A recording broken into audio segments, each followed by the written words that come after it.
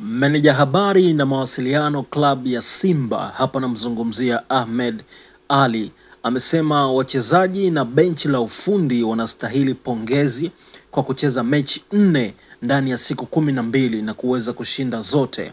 Ahmed Ally amesema kwamba ni shauku ya wanasimba kuona timu yao ikicheza soka la kuvutia maarufu pira biriani, lakini jambo muhimu kwanza ni kuhakikisha timu inashinda mechi zake. Hivyo kocha Robertinho ameanza kutengeneza timu ya ushindi kwanza.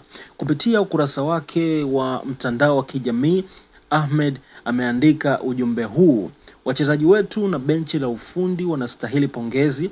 Wamecheza mechi nne ndani ya siku kumi na mbili na zote wamepata ushindi. Kwa interval hiyo usitegemee timu kucheza kwa kiwango kikubwa sana, bali ni kucheza kwa malengo. Pamoja na hayo, kikosi chetu kina wachezaji wapya kumi na moja. Ni ngumu mno timu yenye maingizo mapya kucheza kwa maelewano makubwa. Kwa kufahamu hilo, mwalimu Robertinho ameanza kwanza kutengeneza timu ya ushindi. Baada ya uhakika wa ushindi, ndipo atageukia mpira mzuri. Kwenye kuhakikisha timu inapata kwanza ushindi, mwalimu anatumia zaidi wachezaji wa zamani, huku wale wapya akiwapa nafasi moja baada ya mwingine.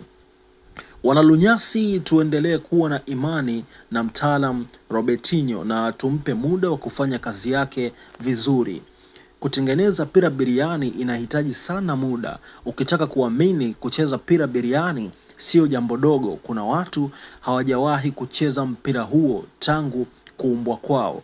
Hayo si maneno yangu, ni maneno ya Ahmed Ali. Ameweza kuzungumzia swala la pira biriani au vibana. Hii ni Bongo Pods, lakini pia dondosha komenti yako kuhusiana na hiki ambacho ameweza kukizungumza Ahmed Ali kwa kocha Robertino, lakini pia kwa benchi la ufundi na kwa wachezaji wenyewe kwa ujumla. Hii ni Bongo Pods.